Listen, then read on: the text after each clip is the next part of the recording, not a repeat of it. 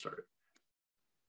Father, we're thankful for your word for us, and we're thankful for the sacrament of the Lord's Supper. Tonight, as we study this uh, sacrament, may it be for your glory. May we connect uh, to you, and may we connect to one another as we pray in Jesus' name, indeed. Amen. So, we're going to look at four texts uh, to begin with tonight, uh, and then we're going to um, look at a couple of different ways uh, various parts of the church understand uh, the sacrament of the Lord's Supper. So these texts are um, crucial. They're called the words of institution. Uh, and the scripture has uh, four uh, variations on this. All of them fit together fairly well. Um, and so we can certainly see how some people heard uh, some things and they remembered and wrote those things down. Some people heard other things um, but none of these none of these words of institution are identical, but they are all congruent. They all work together.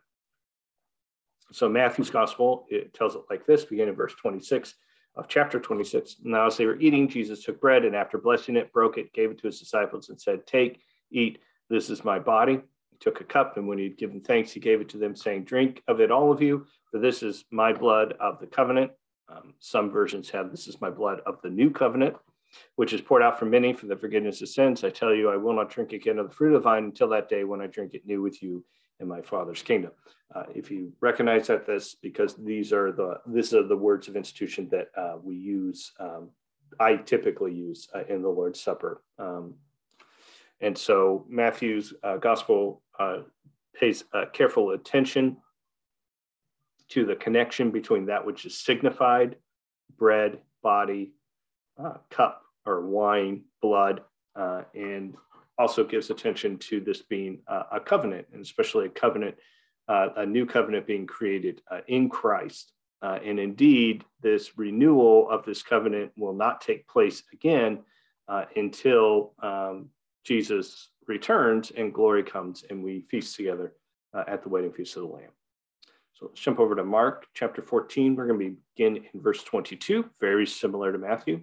As they were eating, he took bread and after blessing it, broke it, gave it to them, and said, Take, this is my body. Took a cup, and when he had given thanks, he gave it to them, and they all drank of it. He said to them, This is my blood of the covenant, which is poured out for many. Truly I say to you, I will not drink again of the fruit of the vine until that day I drink it new in the kingdom of God. Right. So Matthew uh, was there, he heard it. He said, Jesus said, My father's kingdom. Mark, who is really uh, writing down the memoirs of the Apostle Peter, that's what Gospel Mark is, uh, says it is the kingdom of God. Are these um, two ideas uh, uh, anathema to each other? No, of course not. They work together. The kingdom of God, my Father's kingdom. It's two ways of saying the same thing. So, um, but they also, um, both Matthew and Mark, and we'll highlight this here, um, they limit the extent of this covenant all right, to the many, right? Many is, is a lot, but it's not everyone. So universalism doesn't work from the covenantal perspective of the sacrament. Uh, rather, his blood being poured out for many um, refers, especially in Reformed theology, we would say uh, refers to the elect. Okay, Luke, uh, Luke brings in uh, other aspects uh, of the supper uh, and certainly will be more um, give more kind of surrounding uh, things that were happening uh, at the supper. Uh, and so it's a longer passage. So we'll begin here in Luke 22 in verse 14. When the hour came, he reclined at table and the apostles with him, and he said to them, I have earnestly desired to eat this Passover with you before I suffer, for I tell you, I will not eat and I will not eat it until it is fulfilled in the kingdom of God. Right? So there's this idea that there is another feast in fact, the next Passover feast that Jesus will ever eat is when it is all is fulfilled in the kingdom of God. That's a eschatological reference to the wedding feast of the Lamb, to the great feast of the Lamb at the end of all things. When we will celebrate not the Passover, not the uh, first Passover, when uh, the angel of death passes over those houses painted with the blood of the Lamb, but rather the fulfilled Passover when uh, the saints, the elect, are delivered uh, into glory uh, for all time and they are past, God's wrath passes over them forever. Okay, so then he took a cup, and when he'd given thanks, he said, Take this and divide among yourselves, for I tell you that from now on I will not drink of the fruit of the vine until the kingdom of God comes. So, reiterating the same point. So, as they're eating the meal, remember the main event at the Passover meal is the lamb. He's telling them that I'm not going to eat again uh, a meal like this until that day, and I'm not going to drink with you again until that day, right?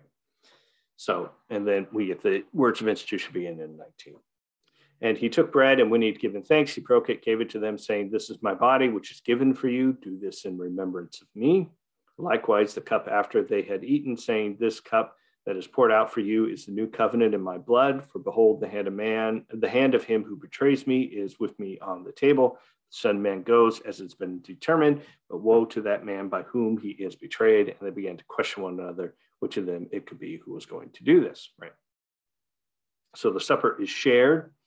Uh, and it is this pronouncement that this is a new covenant in his blood, that those who are under the coverage of his blood will be delivered on that last day uh, and will sit and feast with him uh, forever uh, in the kingdom of God. So, those are the major uh, ideas coming from the Gospel of Luke. And so the Apostle Paul has his own telling of this uh, nestled in the middle of a longer section. indeed, we'll be looking at um, we'll be looking at most of uh, what he deals with in 1 Corinthians 11 uh, in several chunks this evening, which will be pertinent to various uh, paragraphs uh, of the Westminster. But the one that's important for us to get up front uh, is uh, the Apostle Paul giving the words of institution. And this is really important um, because this is the first written record of the words of institution. So the Apostle Paul's letter to the Corinthians in the late 50s uh, is when he's writing it, usually dated around 57, um, is predates uh, even the earliest gospel, which would be the Gospel of Mark, which uh, usually is dated sometime between the year 60 uh, and 65. So here the Apostle Paul uh, is reminding the Corinthians who have been making a real mess of this. Uh, and that's the nicest thing you can say about the Corinthians' relationship to the Lord's Supper. They've been making a real mess of this. Excuse me. Uh, and he's trying to correct them by reminding them what the Lord Jesus did on the night that he was betrayed. So the apostle, beginning in 1 Corinthians 11 23, says, For I received from the Lord what I also delivered to you, that the Lord Jesus on the night when he was betrayed took bread, and when he had given thanks, he broke it and said, This is my body, which is for you. Do this in remembrance of me. Same way, also, he took the cup after supper, saying, This cup is the new covenant in my blood. Do this as often as you drink of it in remembrance of me. For as often as you eat this bread and drink the cup, you proclaim the Lord's death until he comes. Right. So he's reminding the Corinthians who are not treating each other very well, they're not waiting for each other, they are approaching the table in an unworthy manner. Uh, he's reminding them what this sacrament means, right? What it means. And in reminding them what it means, he's trying to correct uh, their error because their error is much bigger than they're doing the Lord's Supper wrong he's saying that doing the Lord's Supper wrong is actually a symptom of a greater error uh, in that you have divorced yourself from one another. In other words, you don't believe that the community, the ecclesia, the church matters.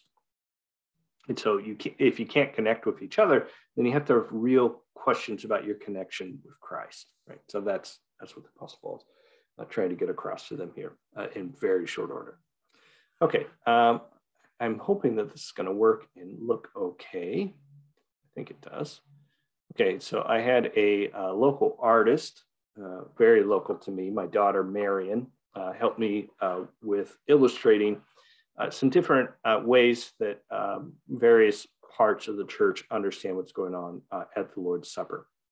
now, the first three that we're going to look at transubstantiation, which of course is dealt with in the confession and is condemned. It's the Roman Catholic understanding, and some Anglo Catholics certainly hold this view.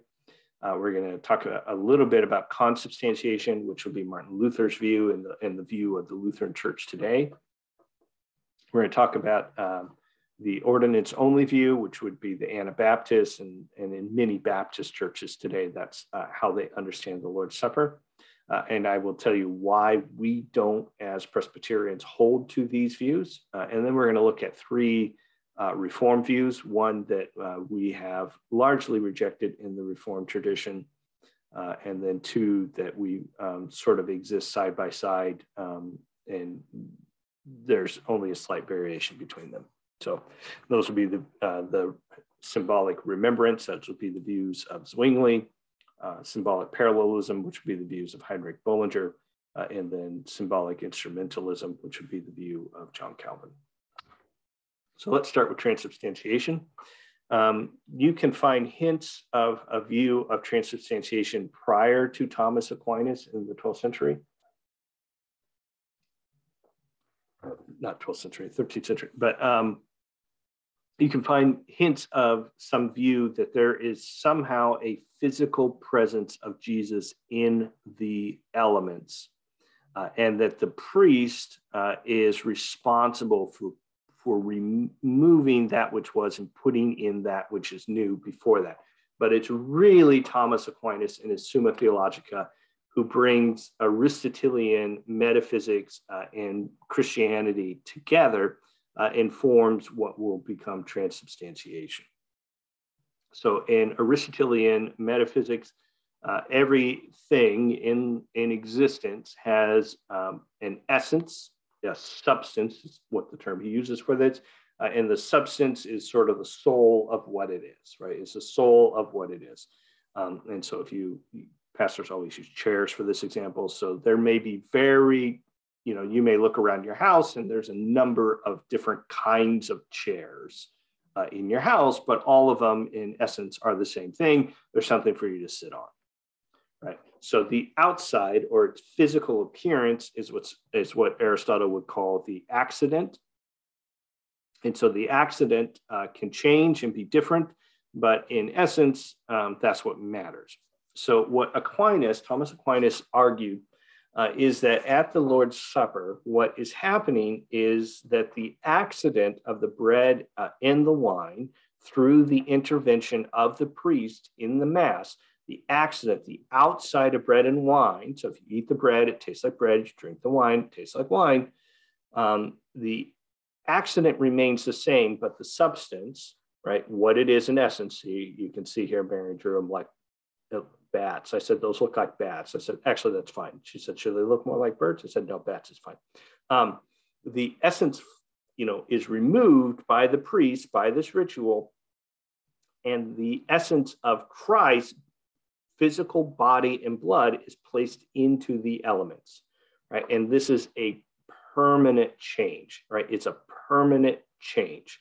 So once this transformation has taken place, once this transubstantiation has taken place, uh, and the substance of those bread and wine are removed, and the substance of Christ is placed into the accident, right, into the elements, uh, then that's a permanent change right? And so after um, a Catholic Mass, uh, their worship service, uh, then the wine all has to be consumed because it can't be saved, and the bread because they use these, you know, unleavened wafers, which I think will. La- what did somebody tell me one time that you know they'll go bad in about you know 200 years, right? Um, they take the remainder of those and they keep them in a special box in the sanctuary that they call the tabernacle, because Catholics believe that that is now the presence of Christ, right? And so the wafer is often uh, worshipped um, in, a way that most Protestants and especially Presbyterians uh, would find disturbing. Uh, but we'll come to that later. So we don't believe as Presbyterians that this is what happens. Uh, we think that this is not a biblical view of what happens at the Lord's Supper um, as we have a couple of problems with it. One, we don't believe that any human being, even if they're ordained, has the power to start changing the substance of things. That seems like magic uh, to a large extent. Uh, two, um, we don't find anywhere in the scripture where it says that this is what happens, right? Um, as Van Dixhoorn, and we'll make this point a little bit later, right? Something doesn't have to be a simile to be a metaphor, right? When Jesus says, This is my body, he's not saying this is literally his body because his body is actually present there. It's not even in glory. And he has normal flesh and blood, as he points out in Luke 24 39. Um, and so this idea is, it, it, it just doesn't work. Um, because Jesus can't be handing bread to people and say, This is my body, when his body is present there, not even uh, in glory. Um, and so we uh, largely uh, reject this uh, viewpoint, right? So the um, this would have been the other view outs that the Westminster Divines were uh, sort of arrayed against, right? So those Anglo Catholics, remember those Laudians, right, who were sort of the bitter enemies of these folks who would eventually gather at the Westminster Assembly. They held a, a kind of like a transubstantiation light view of things. Um, and by and large, the um, Westminster Divines, which is why they specifically address transubstantiation, uh, they reject it. They don't find it to be biblical. I don't find it to be biblical. There's a reason I'm a Presbyterian and not a Catholic.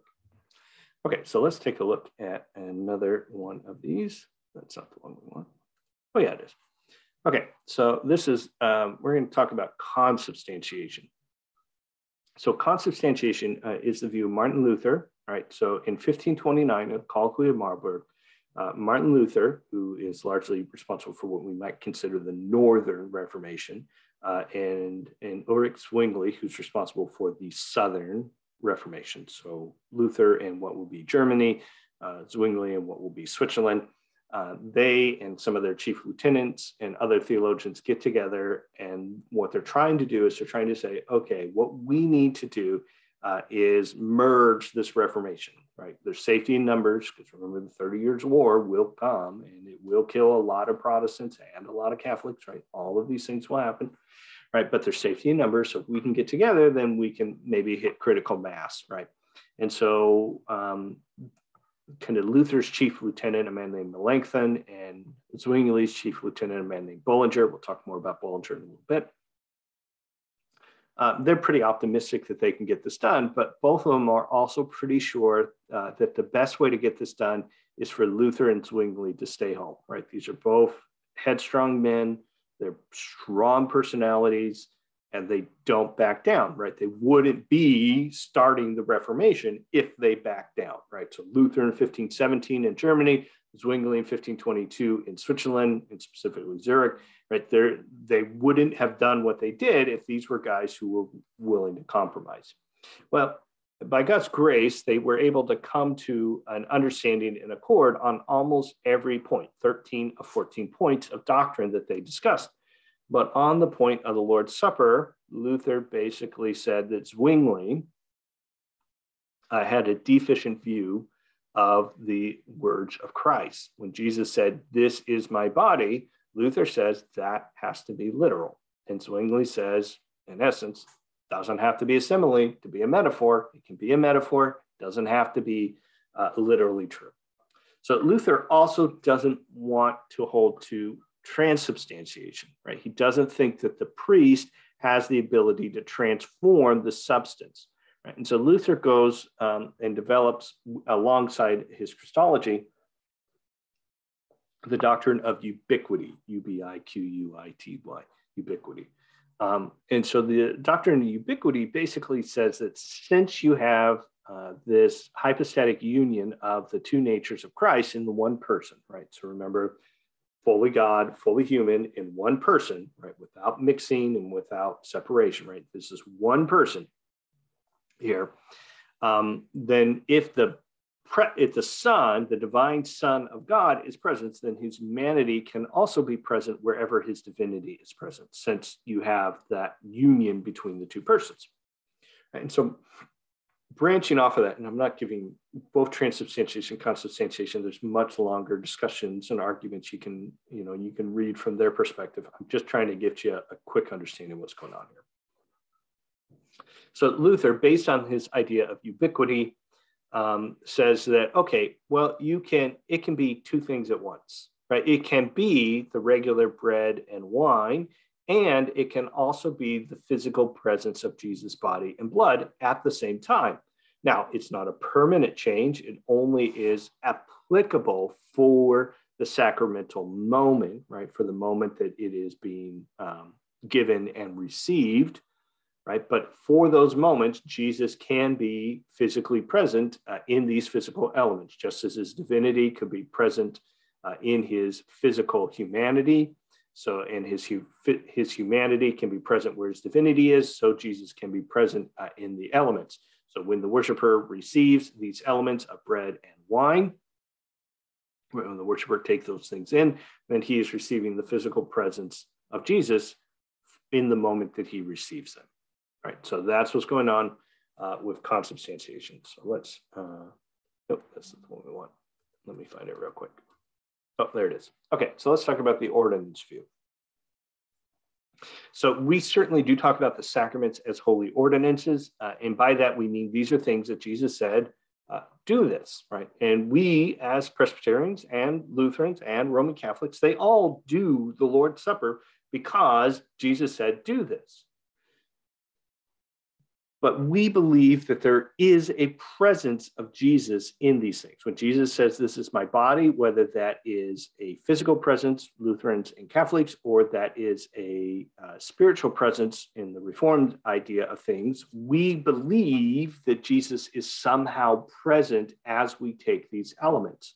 The ordinance only view, which is the one uh, you're kind of looking at here, says, Well, no at best, we can get Zwinglianism, which is what we'll talk about next, where the Holy Spirit is communicating to your soul, maybe to your mind. Um, but mostly in this viewpoint, the reason that we do the Lord's Supper is because Jesus said, do this, right? Because the Holy Scripture, Jesus holding the Bible down there, uh, the Holy Scripture said, this is something you need to do. You need to take these elements. Right? And so you're doing this uh, largely as an act of obedience uh, the ordinance view of baptism and the ordinance view of the Lord's Supper, uh, their main problem is that they center the action in the worshiper. They center the action in the one receiving the sacraments, right? Which is why in the ordinance only view, you can only um, baptize those uh, who are old enough to make a profession of faith. You couldn't baptize a baby, for instance, uh, because the worshiper has to be able to express faith, because baptism is primarily about the worshiper's experience of obedience to Christ. Right? Now, none of the other views exclude the worshiper's obedience to Christ in doing as the Lord has said,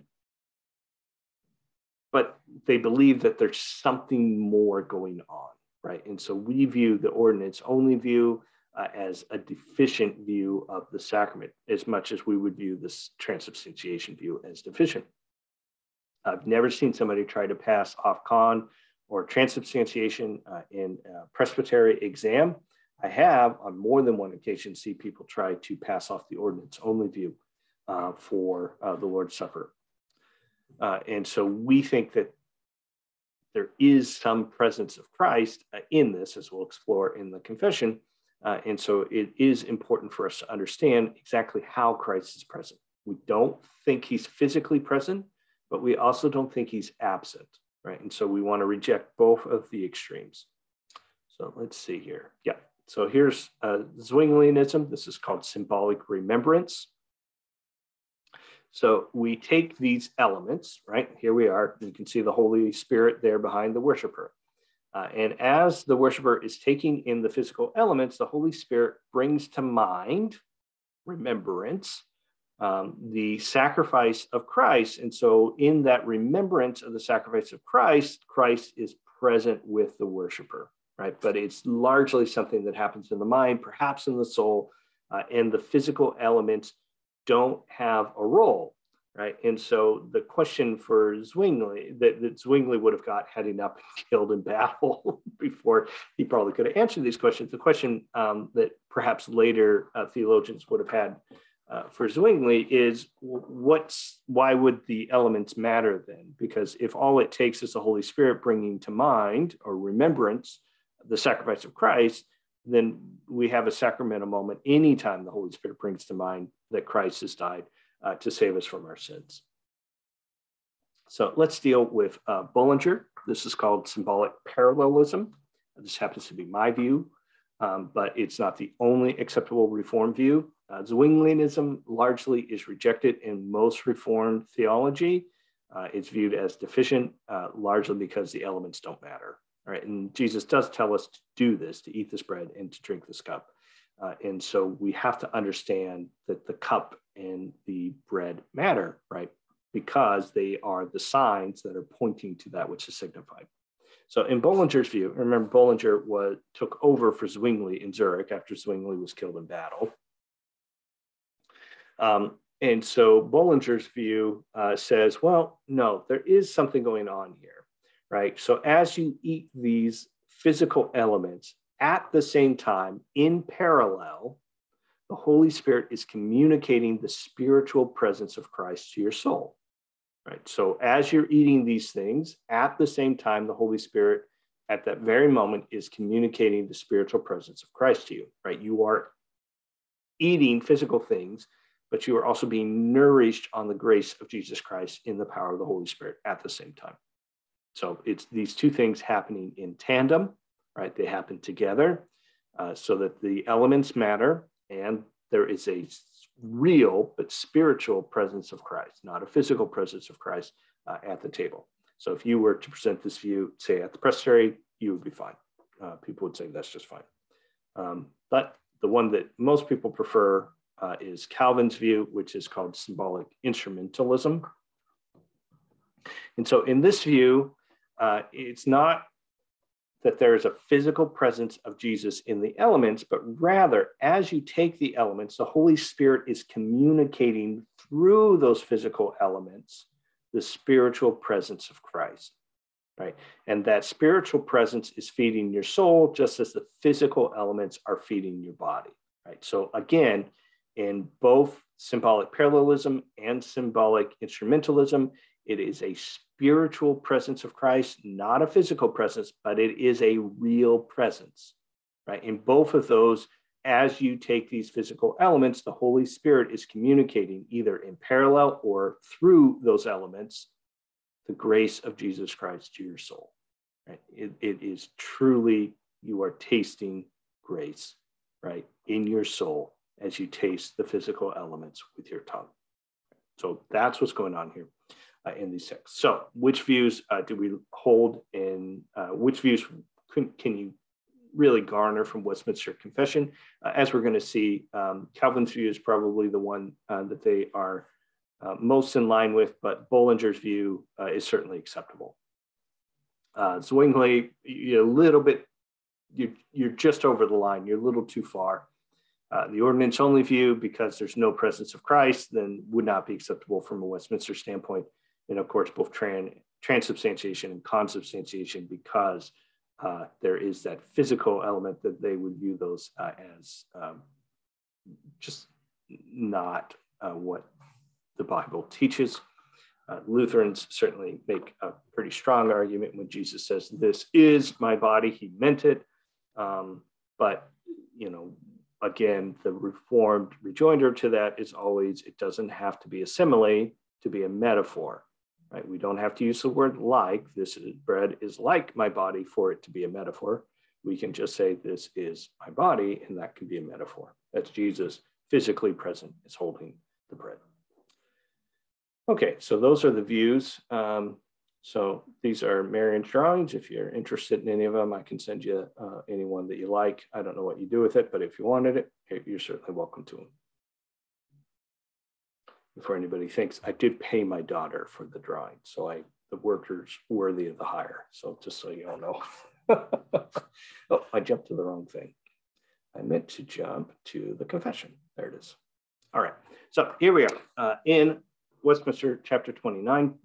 Okay, so we've done a lot of the heavy lifting already this evening, so we're going to move through this uh, in fairly quick order uh, through the paragraphs here tonight. So the night Jesus was betrayed, he instituted the sacrament of his body and blood. We read those texts. Called the Lord's Supper to be observed in his church until the end of the world as a perpetual remembrance of his sacrifice in death and as a seal of all the benefits of that sacrifice for true believers.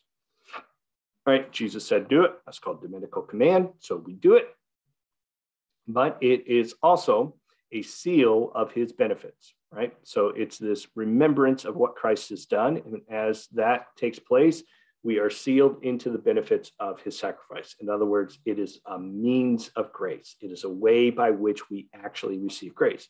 So baptism is received only once in a person's lifetime. The Lord's Supper is received many times in a person's lifetime. Uh, and so while the we can certainly see in the waters of baptism the communication of the grace by the Holy Spirit uh, to the one being baptized. We can certainly see in the Lord's Supper this consistent and constant communication of grace to the believer, right? So that's how it's a seal, right? It's God's signature on your life saying you are one who is covered by the blood, uh, the new blood, the new covenant in Christ's blood. I can speak tonight. There we are. Okay, well, what about the sign element of the Lord's Supper? Well, that's the next paragraph, next sentence. It also signifies the spiritual nourishment and growth of believers in Jesus and their additional commitment to perform all the duties they owe him. Right. So on the one hand, right, it signifies spiritual nourishment as you are eating physical things, even just little portions of them, as you're eating these physical things, it reminds you that you are nourished in the grace of Jesus Christ and that you are to grow, right? Just as we eat food, right, to fuel the body so that we can grow uh, when we're young, um, and hopefully not when we're old, right? Because we're not growing any taller, but we might grow a little bigger. Um, but we eat food to nourish the body so that we can grow and be strong. So also we take in the sacramental food, right? So that the Holy Spirit can communicate spiritually the nourishment that is ours in Christ, what we call his grace.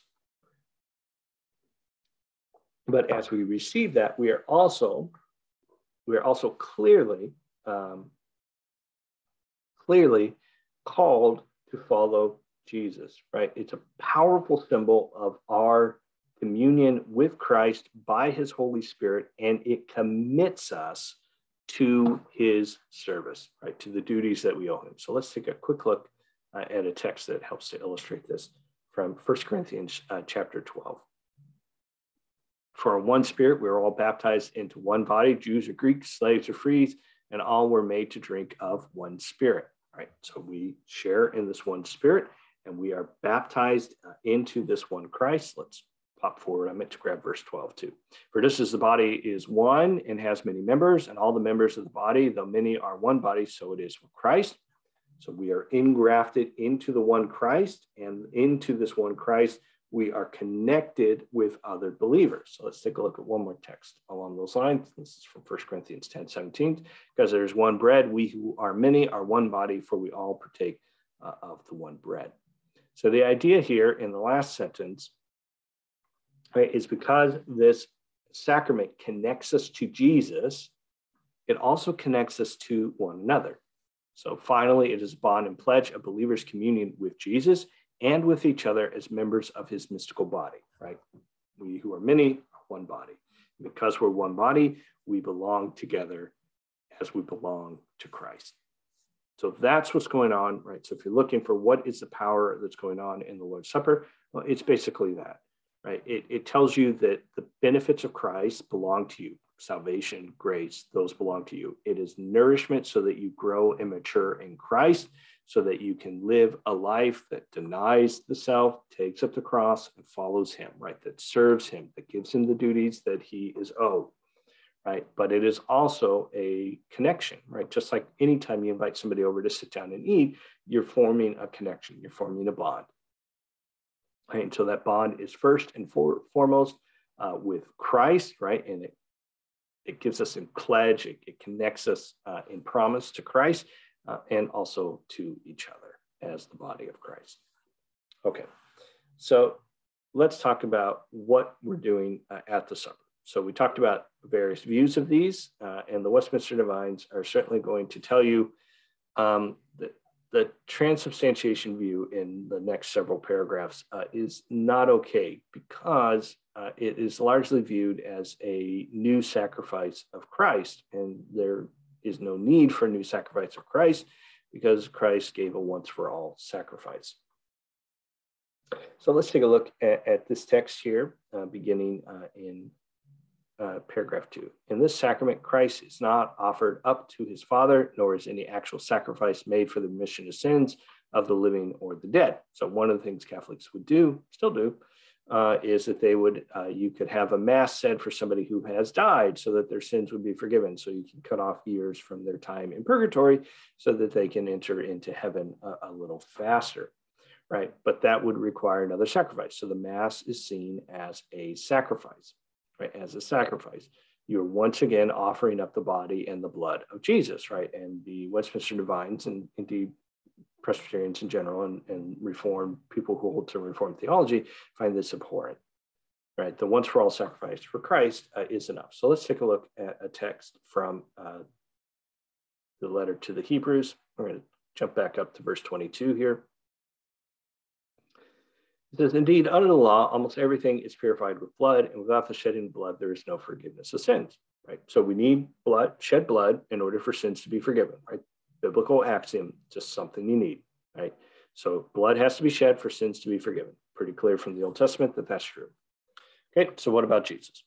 Well, thus it was necessary for the copies of the heavenly things to be purified with these rites, but the heavenly things themselves were better sacrifices than these, right? So he's talking about the Old Testament sacrifices, right? And that the uh, various elements in, in the temple, both the first and second temple, various elements uh, in the temple uh, had to be purified through these sacrificial rites that were performed. But the heavenly ones, on which these earthly ones were based, right? If they're to be purified, then they're going to have to be purified with a better sacrifice, right? With a purer sacrifice. So, how do you get a better and purer sacrifice? Well, you have to have one who is a perfect substitute for humanity. So, it has to be a human being, uh, but also has to be an innocent human being. And that doesn't pertain to anyone except for Jesus. Okay, so the author of Hebrews goes on, it says in verse 24, For Christ has entered not into holy places made with hands, which are copies of the true things, but into heaven itself, now to appear in the presence of God on our behalf, right? So Christ hasn't just entered even into the most holy place in the temple, the Holy of Holies. Christ has gone into heaven, into the very presence of God, right? And in order for him to do that, right? In order for the high priest to enter into the Holy of Holies, he has to go through an elaborate series of rituals that we'll cover next year in our Leviticus class. And so, if Christ is going to enter into the presence of God, he must be even purer, even more innocent, right? Even more forgiven in some regard um, than the high priest is. Now, Christ has no sin to be forgiven of. And so he automatically is innocent but to be purified by his own blood allows him to enter into the presence of God. That's what the author of Hebrews is, uh, is arguing. Nor was it to offer himself repeatedly, right? And this is the point that Westminster Divines wants you to grab onto, right? So we're not offering Christ up repeatedly. No, one time. He offers himself one time and one time only, right? But the high priest, the author goes on, as the high priest enters the holy places every year with blood not his own, for then he would have to suffer repeatedly since the foundation of the world. But as it is, he has appeared once for all at the end of the ages to put away sin by the sacrifice of himself. So the high priest every year had to go through the elaborate ritual so he could enter into uh, the inner sanctum, into the Holy of Holies, uh, and offer up the blood uh, on the elements within that inner sanctum, right? And he's entering into the presence of God's Shekinah glory. And because he's entering into that presence, every single time he does that, he has to go through this elaborate series of rituals. The other Hebrews is saying, but Christ doesn't have to do that because he's he's already entered into the holiest of all holy places, and that is the very presence of God, right? And he doesn't come with deficient sacrificial blood, he comes with his own blood, which is of immeasurable worth. And so he doesn't have to keep doing this over and over and over again. And indeed, his blood is not just enough to get him to enter into the presence of God, it's actually enough to put away sin, right?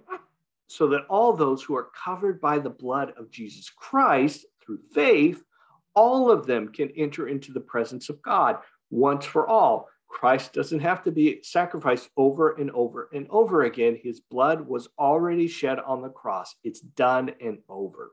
Right, so let's continue.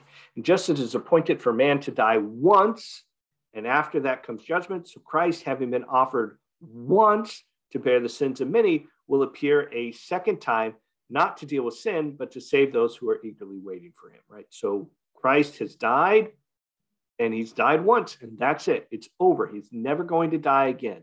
But he will come again not to die for sins. That's already been done but rather to welcome right those who are eagerly waiting for them right to save them to gather them to himself uh, and to bring them into glory.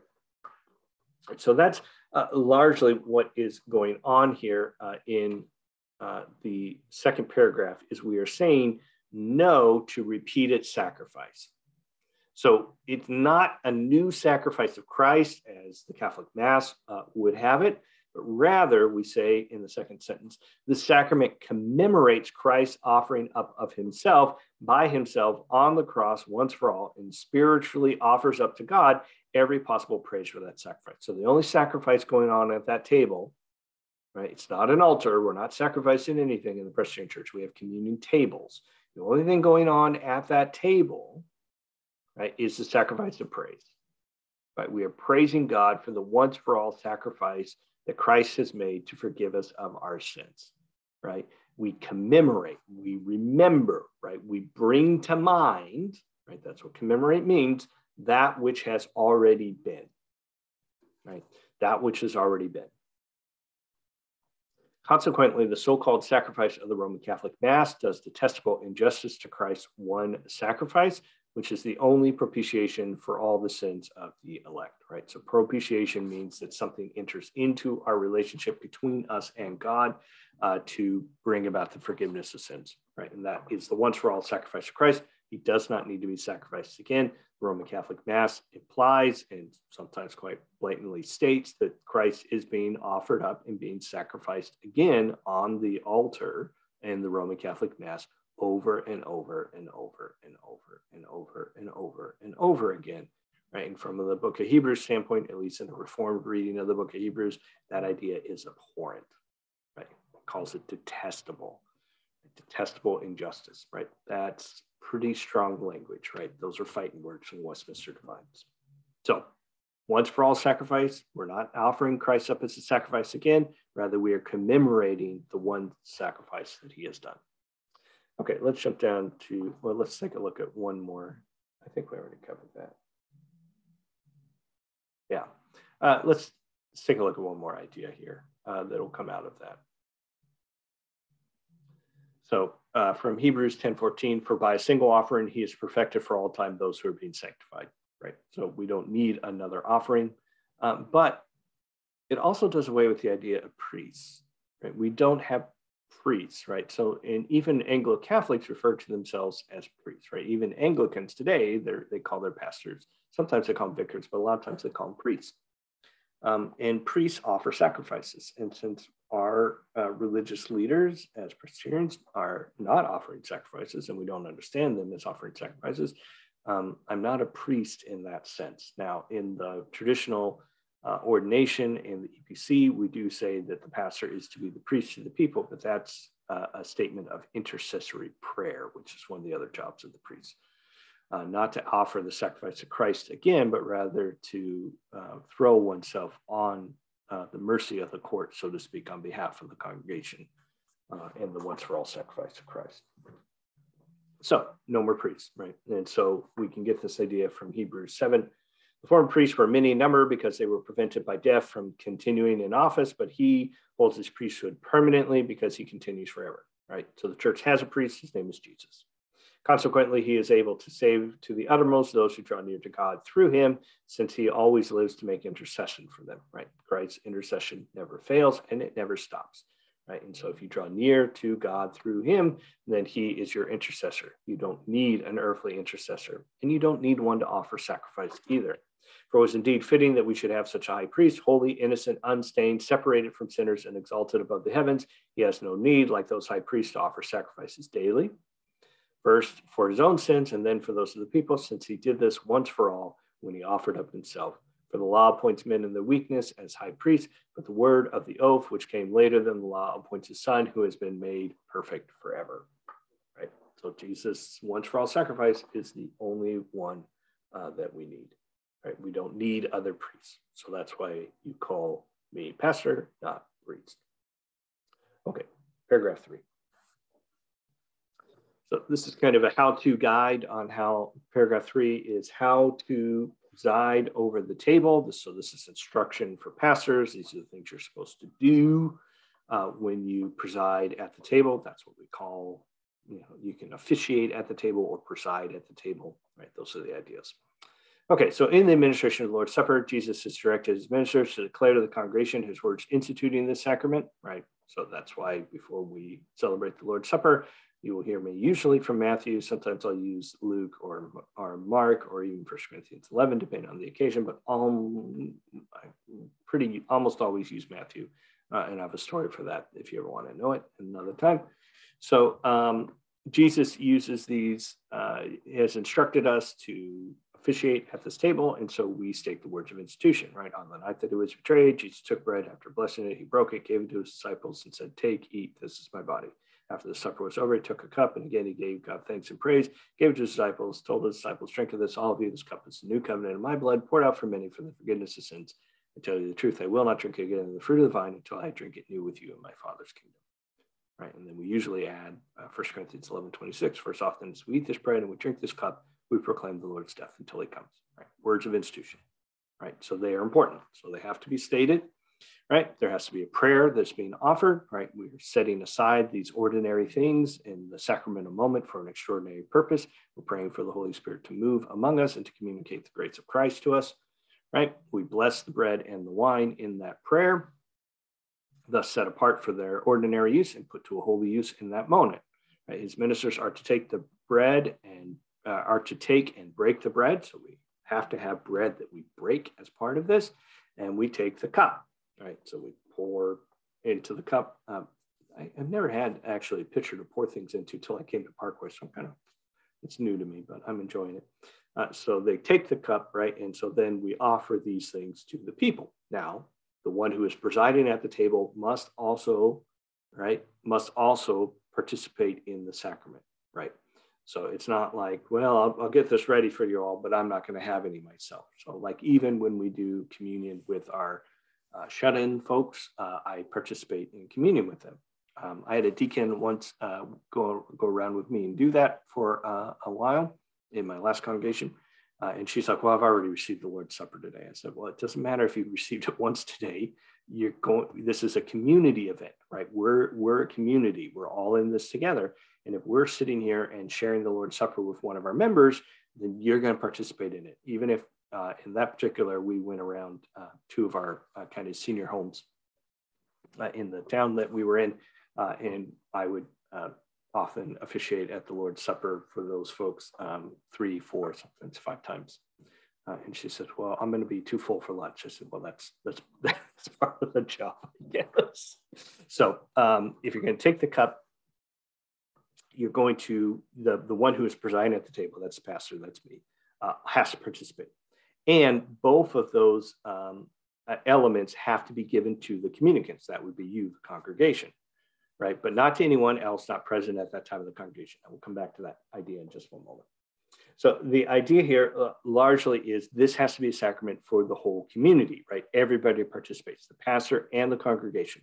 Now, it was common in Roman Catholic churches at the time of the Reformation uh, for only the bread to be offered to the people, right? The cup, because people might spill it, right? And that they'd be spilling the, the blood of the Lord on the floor was not offered to the peasantry, right? So you, if you weren't aristocrat, you weren't going to receive the cup, right? You had to be part of the specials, right? To do that, right? And so um, that idea doesn't have any place in scripture. So the Westminster Divines were right to reject it. You have to receive both the bread and the cup uh, in order to participate. Now, why would they say not anyone else not present at the time in the congregation? So this is um, one of those things where uh, we, you know, are they saying that, you know, if we were to bring, you know, say communion to one of our shut-in folks uh, who can't make it out to worship for health reasons, uh, that we're breaking what Westminster's saying?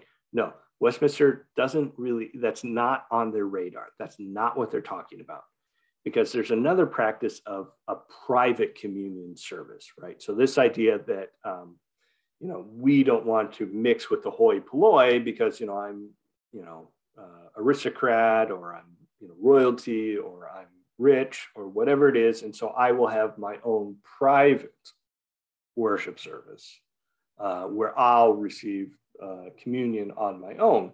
Uh, and they said, no, that's not going to work. You don't get to have a private worship service, right?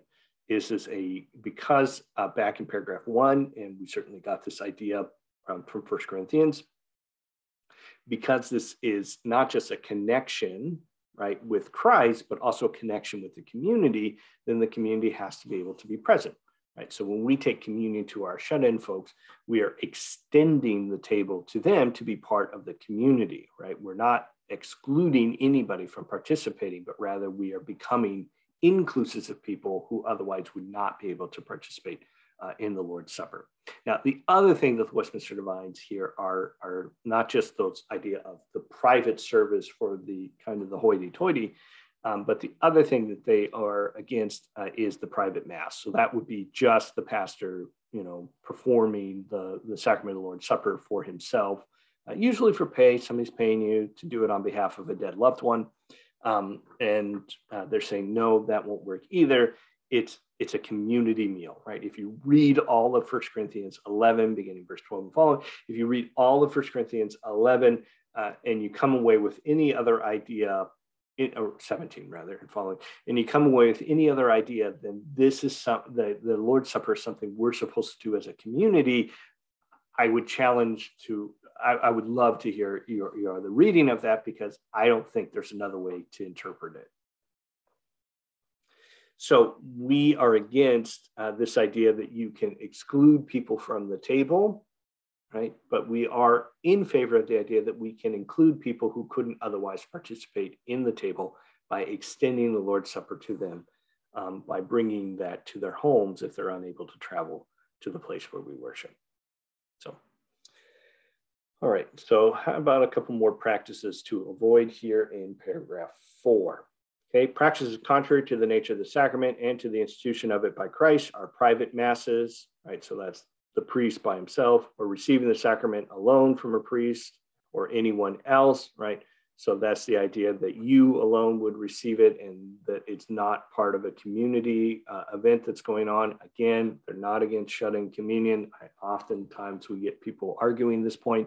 Uh, if nothing else, our own um, book of order in the EPC clearly says that, that we're supposed to bring communion to people who are unable to participate in worship because uh, largely because of health reasons, right? So that's extending the table. What they're telling you is you can't say, you know, I I'm I'm one of the specials and nobody else gets. I don't want other people around, right? Or we're going to use a much better vintage of wine when I'm taking Lord's Supper, and I don't want to pay for that for everybody, you know, that kind of thing.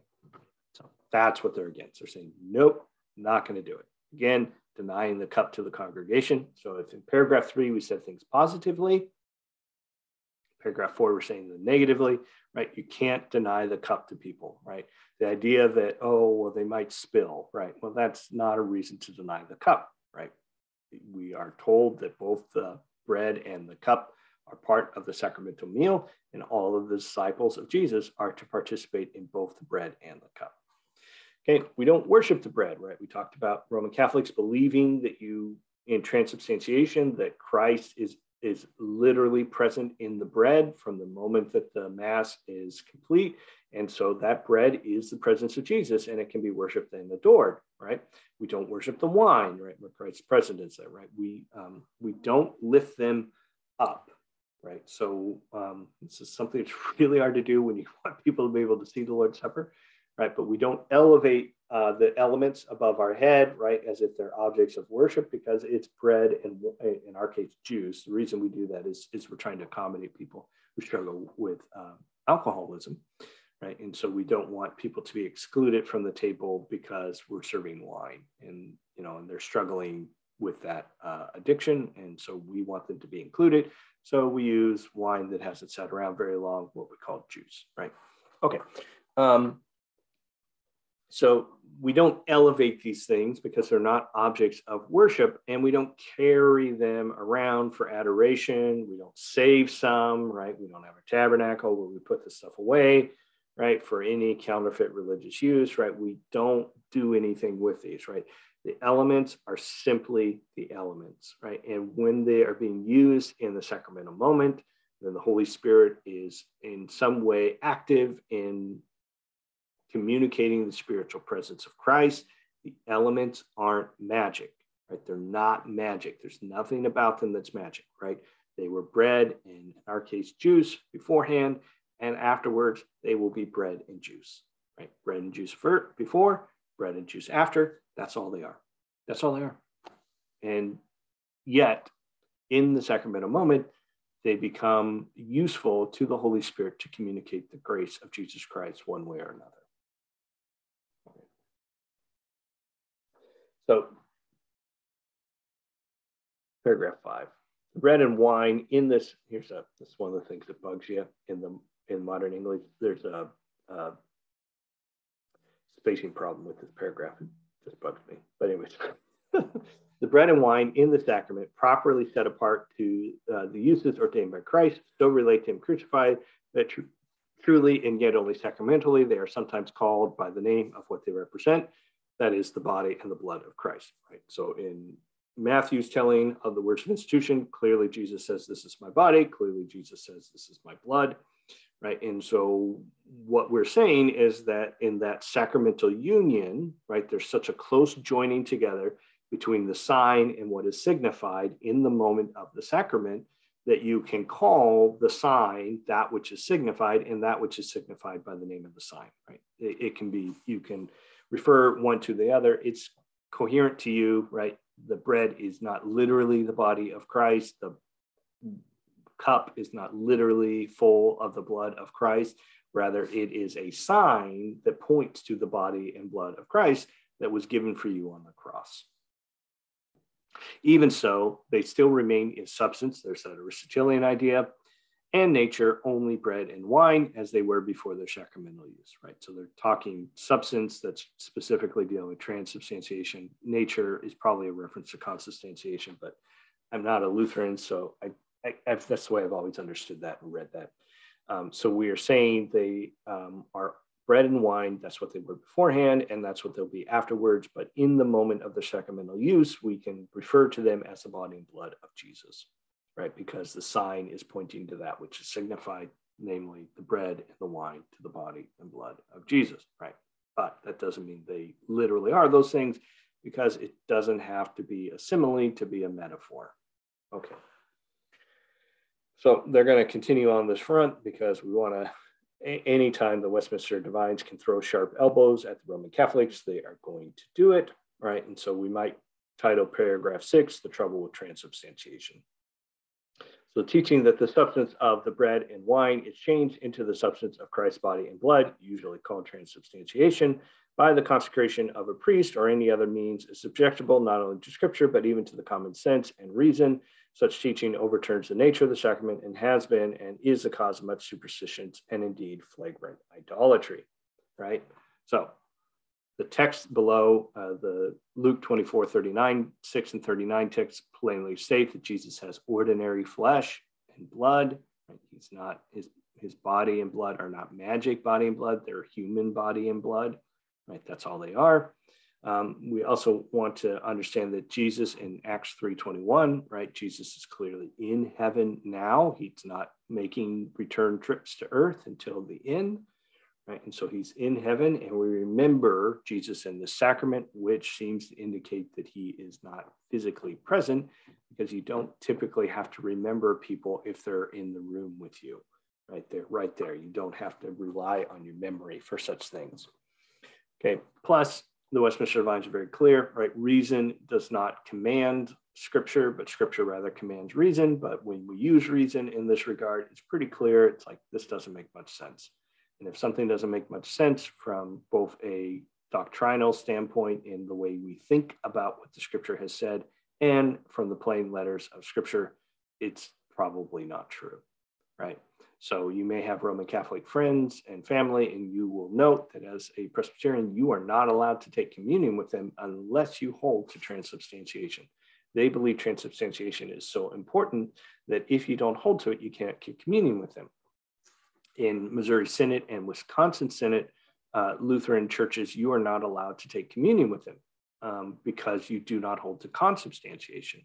Because they think it is so important that you understand that Christ is physically present in that way, uh, that to not do so would mean that you should not, that we are not in accord. And if we're not in accord, we should take communion together. In Presbyterian churches, we teach that this is Christ's table, right? And that if you have a faith in Jesus and if you have been called by him to be his disciple, then you should come and taste and see the Lord is good. But we certainly have our own views on the Lord's Supper that Christ is not physically present, but rather is spiritually present in the supper. So pay attention sometimes to the prayers I give. I give lots of hints to that um, as we're moving through things, right? So Westminster Divines are clear that they think that this is superstitious. Uh, and it has led to idolatry, especially worshiping bread and wine, right? You worship the creation uh, instead of the creator. Uh, and so they would say that both that, that on those two things alone, this transubstantiation should be deemed dubious. Uh, and from a scriptural standpoint, it should be rejected. Okay, so spiritual presence uh, is what we're going to deal with in paragraph seven here.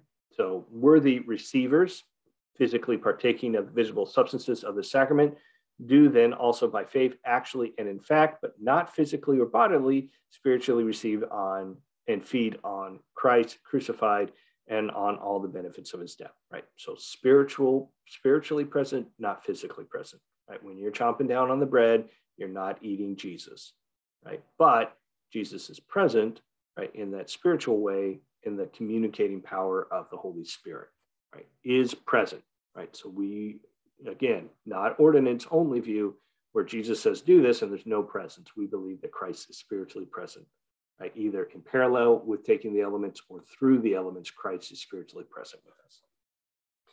Okay, the body and blood of Christ are not then bodily or physically in, with, or under the bread and wine. Those are various arguments from transubstantiation and consubstantiation, but they are actually spiritually present to the faith of believers in the administration of the sacrament, just as the bread and wine are physically present, right? So Christ is, his body and blood are spiritually present to you, just as his, um, the bread and wine are physically present, right? So that language can lend you either to Calvin's view, where they are spiritually present through the physical presence, or Bullinger's view, and I think it leans you more toward Bullinger again, but I'm biased. That's happens to be my viewpoint. Um, that they are present in parallel, right? So the physical presence of the elements and the spiritual presence of Christ's body and blood are moving and basically in lockstep together uh, through this. Okay, so let's take a, a, a, little bit of a longer look at Paul's lesson in First Corinthians 11.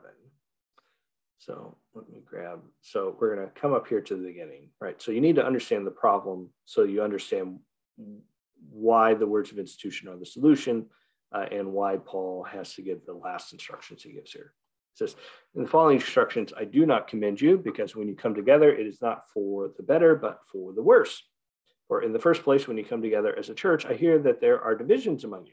So there's fighting, there's factionalism. And I believe it in part. For there must be factions among you in order that those who are genuine among you may be recognized, right? So there's going to be conflict in the church. There's going to be conflict in lots of churches throughout the ages um, so that we can uh, separate the genuine from the uh, false. That's Paul's point. It says, when you come together, it is not the Lord's Supper that you eat, right? So now he's getting into something specific. For an eating, each one goes ahead with his own meal. One goes hungry, another gets drunk, right? So you're making a mockery of the Lord's Supper, right? So everyone brings their own stuff, they eat their own thing. Some people don't have anything, and some people, in the case of wine, drink too much. Not the Lord's Supper, right? Everyone should be an equal participant in the Lord's Supper. It says what? Do you not have houses to eat and drink in, right? If you were hungry, you should have eaten something before if you were thirsty, you should have drank something before, right? You don't need to um, basically hoard uh, and exclude people um, from worship. It says, or do you despise the church of God and humiliate those who have nothing, right? What shall I say to you? Shall I commend you in this? No, I will not, right? So this is the problem, right? So not everyone is equally participating in the Lord's Supper, right? There are people who have Uh, an abundance, and there are people who have nothing. Right? And he says that's a problem because this is supposed to be a community meal. So the words of institution come in, and he reminds them that this meal is given to all of the disciples, right? And that we are to celebrate this as a group of disciples, right? But at the end of it, Paul says, okay, and if you don't do that, there's a problem, right? So, one, you have to come ready to receive the grace of Jesus Christ, right? You need to come to this table uh, in a way that, that shows that you are repentant of your sins, right? So earlier in First Corinthians, Paul has brought forward, especially in chapters five, uh, Paul brings forward a number of issues, and chapter six has some too, um, a number of issues that the Corinthians are getting involved in that shows that they are not taking seriously um, church discipline, right? And so he says, look, you have to come in a way that is disciplined, right? That shows that you are, uh, you, yes, you are a sinner in need of grace, you're that special kind of sinner. You're the repentant kind of sinner, right? So the Apostle Paul says, because this is a proclamation of the Lord's death until he comes, he therefore says in verse 27 Whoever therefore eats the bread, or drinks the cup of the Lord in an unworthy manner, will be guilty concerning the body and blood of the Lord. Now, there's a lot of controversy over what over what the Apostle Paul means unworthy manner, uh, and the answer is, you know, there's a lot of ideas of what unworthy can mean, but certainly uh, unworthy would be somebody who doesn't believe in Jesus. Unworthy would be somebody who is engaging in gross sin and pretending that it is not sin, right? Self justifying behavior, right? Unworthy, it, it, can mean a lot of things, right? Which is why in verse 28, he says, Let a person examine himself then, and so eat eh, of the, of the bread and drink of the cup, right? So you are to examine yourself before you come to the table. It's a very important thing that we do in the prayer confession, especially on communion Sundays, but on all Sundays, that you are given a moment to examine yourself and confess your sins. That's something you should be doing in your prayers on a regular basis, right? Perhaps daily. In my case, sometimes more than daily. you know, sometimes a few times a day. You know, I need to go before the Lord and confess and repent. Right? That's just what we need to do. Right. So that and you're supposed to be doing that for yourself when you come, right? So you go, well, you know, nobody asked me about it, so it's no big deal. Well, yeah, it's a big deal but most um, church discipline is intrapersonal. It's something you are working out with Jesus, right? Most church discipline is that way. Only when your sin becomes so so heinous or so public or so gross, you know, as in large, um, that that you can't work that out for yourself. Do we have to engage in church discipline? Which is why church discipline is the next chapter. Following this, because of this examine, this process of examine. It says, for anyone who eats and drinks uh, without discerning the body, eats and drinks judgment on himself. Now, our Catholic and Lutheran friends would say, say right there, see, you have to discern the body, right? That Christ is present in the elements. But we would say, no, the context suggests that body here is not referring to the body of Jesus. It's referring to the community of the church, right? You have to understand that you are connected into this church and that we belong to Jesus together, right? And if we're not taking into account that community aspect of this, we're eating in an unworthy manner. Okay, that is why many of you are weak and ill, and some have died, right? So the Apostle Paul is really laying it on here. He says, look, this is so important that if you get this wrong, some of you are getting weak, some of you are getting sick, and indeed some of you have even died because the Lord is trying to chastise this congregation. He's trying to tell you, no, do this decently and in order. It says, but if we judge ourselves truly, we would not be judged. For when we are judged by the Lord, we are disciplined so that we may not be condemned along with the world, right? So church discipline, um, even judgment in this case, right, is not condemnation, but rather it is being chastened. It's being told not that way, this way. So he concludes So then, my brothers, when you come together to eat, wait for one another. If anyone's hungry, let him eat at home, right? So Lord's Supper, right? The sacrament is not meant to be a full meal, right? If you're hungry and you're counting on the Lord's Supper to fill you up, probably not, right? Because we have to share share this around with everybody, right? So if you're hungry, you should probably have something to eat first. So so that when you come together, it will not be for judgment. About the other things, I will give directions when I come. Now, we don't know what the other things are, and we don't know what directions he gave later, but that's we know that there's more to this, right? So, what he wants you to say, right? So, the idea here is worship for Christians uh, at this point in time was separated into two services. You'd have a pre-dawn service, right, where you'd get together because everybody Sunday was a work day, right? Everybody worked on Sunday, so you'd have a pre-dawn service where you'd get together, largely prayer service Uh, you do baptisms then, if there were baptisms to be had. Uh, and then you would come, you go to work, and then at the end of the day, you'd come back together, uh, and then you would have um, another worship service, right? You might have love feasts, as Paul will call them, which would be like a potluck. Um, but then during the worship service, you would also celebrate the Lord's Supper, right? That's where the sermon would be. That's where the Lord's Supper would be celebrated. And he says, look, if if you can't wait, right, um, and you're going to eat, you know, more than your share of, of the sacramental meal, have something to eat first, right? You don't have to fast before you come to the Lord's Supper. You don't have to fast before you come to the Lord's Supper. Just have something to eat, and then when you come to the Lord's Supper, then you will uh, be able to wait and you will and you'll be able to share uh, amongst the brethren. Okay, uh, one more uh, quick idea here uh, from uh, Second Corinthians. Oops, I don't have that one pulled up. Let me grab it real quick. Second, no, I need a two there.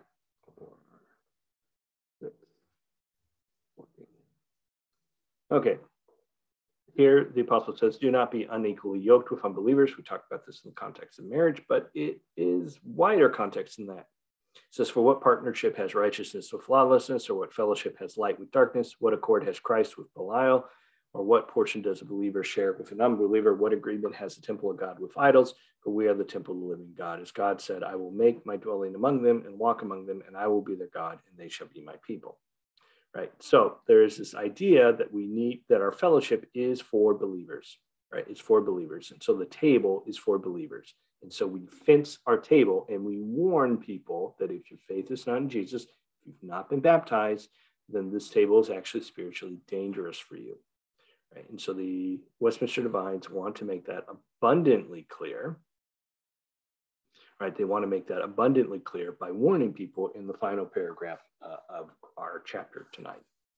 So, so though ignorant or wicked men may partake of the physical substance in the sacrament, right? So we can't go around knocking the sacrament out of people's hands because we think they're ignorant or wicked men. Ignorant men don't know, right? Jesus, wicked men know that they're not followers of Jesus and they're going to do it anyway, right? So we don't, right? That we understand that we, even when we do our best to fence the tables, to warn people about coming in an unworthy manner, that that's still going to happen from time to time. Okay. But when they do, we're told they do not receive what is signified by them, right? So they may receive the physical elements, but they don't receive the spiritual presence of Christ, his body and blood communicated to their souls by the Holy Spirit. However, by their unworthy coming to the Lord's table, they are guilty of his body and blood and bring judgment upon themselves, right? We're reading in 1 Corinthians 11 there. Therefore, just as the ignorant and ungodly are not fit to enjoy communion with Christ, neither are they worthy to come to the Lord's table, right? Which is, you know, a communion with Christ and with the brethren. And as long as they remain ignorant and ungodly, they cannot and must not be allowed to partake of the holy mystery of communion without committing a great sin against Christ right? So we warn them, we tell you not to do it. We used to be more pointed in this, right? We used to give you little tokens, right? After you've been examined by the elders, and then those you had to turn in your token before you could come get the Lord's Supper. We don't do that anymore. But now we, we warn you, dire warning for you, that this table is spiritually dangerous for you if you do not know Jesus as your Lord and Savior. And so if that's you, then you should just let the elements pass you by. Right? But it should also create sort of like a um, holy ambition, a holy jealousy that says, no, I want to participate in that. What leads me to be able to participate in that? And the answer is um, faith in Jesus and baptism leads you to the table. Uh, and so that's uh, why we want to warn people, but we also want to invite them to, to come out of their ignorance and their wickedness and ungodliness and enter into faith and salvation in Christ. So that's Reformed teaching on uh, the sacrament of the Lord's Supper. Uh, I know that this paragraph spends a lot of time telling you what we don't believe, um, but what we do believe is that Christ is spiritually present. Right? And because of that, the Holy Spirit is able to communicate his grace to us. Uh, and so we are nourished in Christ, even as we are joined together with him and with one another. Let us pray. Father, we're thankful for your word for us tonight. And certainly we want to come to Christ at the table and we want to taste and see that you are good. We want to have communion with him by your Holy Spirit and with one another by that same Spirit. So we thank you, Lord, for giving us this sacrament that we may remember your sacrifice, that we may participate in it spiritually through your Holy Spirit, that we may be so nourished that we would follow after you and give you all glory. In Jesus' name, indeed.